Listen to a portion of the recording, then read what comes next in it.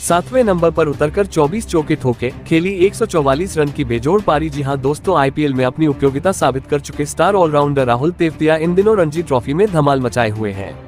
तेवतिया को man finisher के रूप में जाना जाता है। आईपीएल में उन्होंने कई बार इस चीज़ को साबित भी किया है।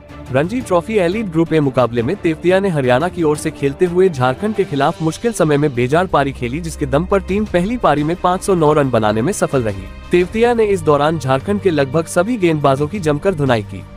उन्होंने अपनी इस बेहतरीन पारी में 24 चौके और एक छक्का लगाया। राहुल तेवतिया ने 212 गेंदों पर 144 रन बनाए। हरियाणा ने 271 रन के स्कोर पर अपने छह विकेट गंवा दिए थे। इसके बाद राहुल तेवतिया ने सुमित कुमार के साथ मोर्चा संभाला। दोनों बल्लेबाजों ने बेहतरीन साझेदारी निभाई। राहुल और सुमित ने सातवें विकेट के लिए 225 रन जोड़े। तो दोस्तों, आप राहुल तेवतीता की इस कमाल की पारी पर क्या कहना चाहोगे, कमेंट्स में बताइए।